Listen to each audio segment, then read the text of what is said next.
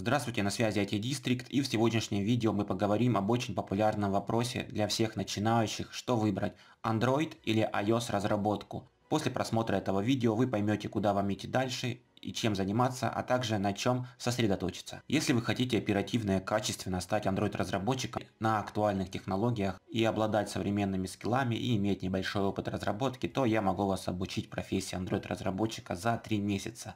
Обучение проходит на индивидуальной основе, оплачивать обучение можно как помесячно, так и по полмесяца. Такое вам больше никто не предложит. Я уверен в своей технике обучения и только актуальной практике, поэтому и предоставляю такие условия. Вся программа подстраивается под ваши индивидуальные навыки и знания и под ваши способности. То есть я разрабатываю для вас индивидуальную программу обучения. Обучение происходит на закрытой платформе, мы общаемся с вами на любой из соцсетей, а также будем созваниваться в WhatsApp. Да, у вас будет мой личный номер телефона. В процессе обучения у вас имеется неограниченное количество консультаций, ответы на ваши вопросы я предоставляю в видеоформате. Я вас не ограничиваю во времени и вы можете обучаться в своем темпе. Если вы проходите обучение немного медленнее, чем это предусмотрено программой, то за дополнительное время нахождения на обучении вы ничего не оплачиваете. То есть, если вы неделю программы проходите за две недели, то за дополнительную неделю вы ничего не оплачиваете, она предоставляется вам в подарок. Это очень удобно. Для консультации по обучению, а также для записи на курс вы можете проконсультироваться со мной. Все ссылки есть в описании к этому видео. Если вам интересна сфера мобильной разработки, то подписывайтесь на канал, тут будет очень много полезной информации. Также может быть в дальнейшем получит, появится информация о разработке игр под Android, а возможно даже и информация по разработке мобильных приложений под iOS. В общем, если вам интересна сфера мобильной разработки, тогда подписывайтесь на канал. Но если вы хотите поддержать проект, то вы можете оставить комментарий под этим видео. Вот вы решили стать разработчиком или переквалифицироваться, например, с веб-программиста. Вы слышали, что все пользуются смартфонами и большую часть времени проводят именно с этими гаджетами. Наверняка вы посмотрели уже кучу видео и прочли статьи. Итак, вы хотите стать разработчиками под мобильные гаджеты, но тут стоит вопрос, куда идти. Как вы знаете, существуют две основные платформы для мобильных гаджетов, это Android и iOS. Немного погуглив, вы узнаете, что вам придется выбирать, под какую платформу разрабатывать, под Android или под iOS. Разрабатывать по две платформы на декстопных, то есть родных технологиях для каждой из платформы не получится. То есть вам не получится стать и iOS, и Android разработчиком одновременно. Точнее получится, но спустя годы. Первые два года нужно будет практиковаться на одной платформе, а затем через несколько лет можно освоить и другую. Но все равно придется начать с какой-то одной, но перед тем, как выбрать платформу, вам нужно задать себе два вопроса. Во-первых, кем вы хотите стать? Сотрудником по найму в компании, разрабатывать мобильные приложения на заказ или создавать свои приложения и зарабатывать на это. У каждого пути есть свой вариант развития. Если интересна тема такого видео, то пишите это в комментариях, я обязательно сниму на эту тему видео. Во-вторых, вы должны понять, что вы хотите разрабатывать, игры или приложения. В этом видео я расскажу исключительно про разработку приложений, так как именно такой разработкой я и занимаюсь. После того, как вы выбрали, например, именно разработку приложений, вам нужно перейти к выбору платформы, под которую вы собираетесь разрабатывать. Я вам расскажу обо всех нюансах разработки от самого главного к менее значимому при выборе платформы. По каждому пункту мы будем присваивать баллы и в итоге получим результат этого противостояния. Вопрос номер один. На чем вы будете разрабатывать? Какой у вас компьютер. И дело не в мощности, а в платформе. Под Android можно разрабатывать хоть на Windows, хоть на Mac. Под iOS нужно разрабатывать исключительно на MacBook. Стоимость нового MacBook в магазине начинается от 100 тысяч рублей, от примерно полторы тысячи долларов, ну в среднем это где-то примерно 100 тысяч рублей. Стоимость поддержанного начинается от 35 тысяч рублей, то есть, грубо говоря, от 500 долларов примерно. Но покупать поддержанный MacBook, это, знаете, еще та затея, поэтому я вам это не советую. Главный вопрос, который вы должны задать себе, есть ли у вас MacBook, или можете ли вы позволить себе его приобрести. Если ответ нет, тогда однозначно ваш выбор Android разработка, и в этом случае я советую записаться ко мне на индивидуальное обучение, если не хотите тратить много времени впустую. Да, конечно, вы можете найти в сети информацию о возможности установки образа macOS на Windows, но это очень плохая затея, которая уже не имеет права на жизнь. Но если все-таки вы не можете купить себе MacBook, тогда идем дальше. По этому пункту балл зарабатывает однозначно Android разработка. Вопрос второй. Сколько нужно потратить денежных средств для того, чтобы разрабатывать мобильное приложение? При разработке Android приложений вам нужно будет лишь понести расходы один раз, и то только при публикации своего первого, первого мобильного приложения в Play Market. То есть вы регистрируетесь в качестве разработчика и оплачиваете единовременно один раз сумму в размере 25 долларов. То есть вы платите эту сумму только один раз, и у вас будет пожизненная возможность публиковать свои приложения. При разработке под iOS вы будете платить ежегодную комиссию 100 долларов в год. Это оплата за публикацию приложений и возможность тестировать свои проекты на реальных устройствах. То есть Android-разработчик заплатит за право регистрации приложения 25 долларов единовременно, а тестирование на реальных устройствах происходит бесплатно. А в то же время iOS-разработчик должен платить ежегодную подписку 100 долларов за право публикации приложений и тестирования на реальных устройствах. То есть даже если вы только разрабатываете мобильное приложение на под iOS и вам далеко еще за публикацию и вы хотите тестировать на реальных устройствах, тогда все равно придется раскошелить. Лично я всегда тестирую на реальном устройстве, так как это более близко к реальности. По этому пункту балл также уходит в копилку Android. Неужели Android выиграет? Ну давайте не будем спешить. Вопрос третий.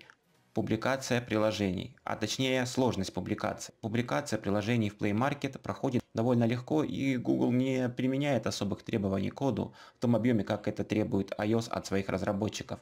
При публикации в Apple Store возврат приложения на доработку это вполне обычное дело. Так кому дать в этом случае балл?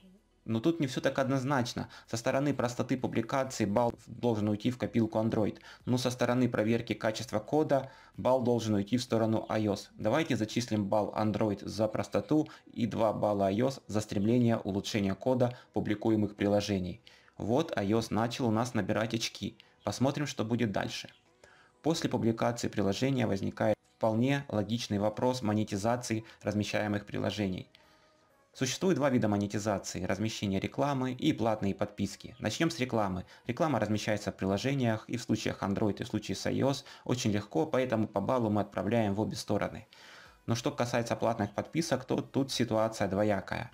Пользователи iOS более подвержены пользоваться платными подписками, нежели пользователи Android. Существует такое мнение, что пользователи iOS более платежеспособны, но я не совсем согласен с этим утверждением. Я думаю, что просто на территории стран бывшего СНГ отношение к платным подпискам негативное, и мы в плане культуры оплаты контента и сервиса еще не доросли до европейских стран, а также до Канады и США. Поэтому тут вопрос не в платформе, а в локации приложения. Вы также можете разрабатывать приложение на иностранную аудиторию и с легкостью предоставлять платные подписки, и у вас это будет пользоваться популярностью даже на Android платформе. К тому же стоит еще вопрос о качестве и пользе вашего приложения. То есть, если вы разрабатываете по-настоящему ценное приложение на весь мир и предоставляете право платной подписки, то я вас уверяю, вашей подпиской будут пользоваться очень охотно. Итак, можно ли на Android и на iOS зарабатывать с платной подписки? Конечно можно, поэтому мы по баллу также отправляем в копилку обоих платформ. Безопасность. А теперь поговорим с проблемой безопасности ваших мобильных приложений и в первую очередь нас интересует защита от кражи наших приложений. Как это происходит? Пользователь скачивает и устанавливает приложение из Play Market, а затем с помощью специального софта получает основной код вашего приложения, после чего редактирует код под себя, собирает установочный файл и публикует уже как свое приложение. Эта проблема часто встречается именно на платформе Android. Но не все так плохо. Существуют специальные технологии, которые позволяют почти исключить эту проблему на процентов 70. И вы знаете, это выход. Я вас уверяю, вы вряд ли наткнетесь на остальные 30%. Если вам интересна тематика защиты приложения, то пишите комментарии под видео, и я сделаю выпуск на эту тему. Как же обстоят эти дела в iOS? Там все хорошо. iOS славится своей безопасностью, и эта проблема почти исключена. Так как же нам оценить безопасность? В Android имеется такая проблема, но она почти решается с помощью специальных технологий и софта, поэтому мы присуждаем Android 1 балл, а в iOS эта проблема почти отсутствует, и поэтому iOS зарабатывает 2 балла. Посмотрите, в нашем соревновании iOS догнал Android. Что же будет дальше? Развитие платформы для разработчиков. А что предлагают платформы разработчикам в плане развития? Android развивается семимильными шагами, постоянно вводит что-то новое и однозначно Android делает ставку на развитие технологий для разработчиков и вообще Android разработка это самая динамичная развивающая сфера iOS вкладывает все ресурсы именно в маркетинг и безопасность и не предлагает новые технологии в том объеме, которые предлагают для разработчиков Android. И поэтому мы присуждаем Android 1 балл а iOS ничего не получает. Посмотрите, Android вышел вперед, неужели он победит? Давайте поговорим о проблемах в технологиях. Я выделил два аспекта. Во-первых, те, кто начинает Android разработку, сталкиваются с проблемой выбора языка программирования, так как если вы начнете изучать этот вопрос, то увидите, что идут постоянные споры Java или Kotlin. Мне самому приходится сталкиваться с этой дилеммой ежедневно, так как каждый день приходят сообщения от зрителей, которые попали в капкан этих всех рассуждений и лапы тех людей, которые еще хотят подзаработать на обучение Java. В описании под видео и в подсказках будет ссылка на мое видео, в котором я рассказал, на каком языке лучше разрабатывать под Android. На самом деле никакой дилеммы нет. Нужно выбирать Kotlin. Это основной язык для разработки Android приложений. В iOS такой проблемы нет. При смене языков ее просто не раздувают. Там все приложения создаются на языке Swift. Второй аспект – это подключение разных библиотек к вашему проекту.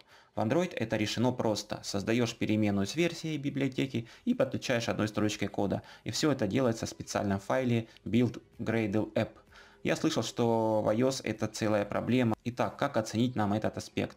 С одной стороны, в Android есть раздутая проблема выбора языка программирования, но она решается, если немного подумать и все взвесить. А в iOS такой проблемы нет. Там все четко, есть Swift, с другой стороны в iOS есть проблема подключения сторонних библиотек, но с опытом вы ее не будете замечать. Но ну, а в Android такой проблемы вообще нету в плане подключения библиотек. Это все решается довольно легко. Поэтому будем честны, и отправим по баллу в копилку каждой из платформ. Итак, давайте посмотрим на итог нашего противостояния. С небольшим перевесом побеждает Android разработка. Да, действительно, Android разработка привлекает своей бюджетной легкостью для входа в профессию, в широкие возможности использовать все новые фишки, классные темпы развития, но тем не менее iOS разработка не сильно отстает, она выделяется своей премиальностью и безопасностью. Так что же вам выбрать? Мой совет такой. Начните с Android разработки, напишите свои первые мобильные приложения, а затем можете еще и освоить iOS разработку. После Android разработки это можно будет сделать намного легче. Но если вы хотите освоить Android разработку оперативно и качественно, то я вас приглашаю на индивидуальное обучение по программе Android разработчик за 3 месяца. Ссылка для консультации и запись есть в описании. Я в этом видео не рассматривал такой вопрос, как зарплата в компаниях для мобильных разработчиков, сравнение именно Android и iOS разработчиков, потому что в целом плюс-минус зарплата одинаковая, и это не та причина, по которой вам нужно выбирать ту или иную платформу. Все самое важное я осветил в этом видео. С вами был IT District. На сегодня у меня все. Всем пока.